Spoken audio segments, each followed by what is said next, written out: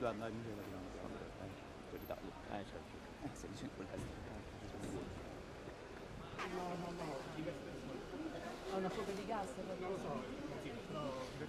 In 9:35, 9:40, uh, the phone rang, and at the same time, a knock on the door, and a man with a gas mask uh, said, "You have to get out immediately." Uh, we tried to wait for the elevator, but you couldn't breathe, so we tr- tried to go down the stairs as quick as possible, and we came out, and there were many people uh, ill, coughing. Uh, someone was vomiting. Uh, we're on the fourth floor. Um, the and then there were people stuck on the roof for a long time. No, nothing. Mm-mm. I think they're more concerned about maybe making the building safe, but I think it will be a while because the smell was so very strong uh, in your in your lungs. it would make you cough. Yes, it was very scary because you you don't know where the, the it's coming from.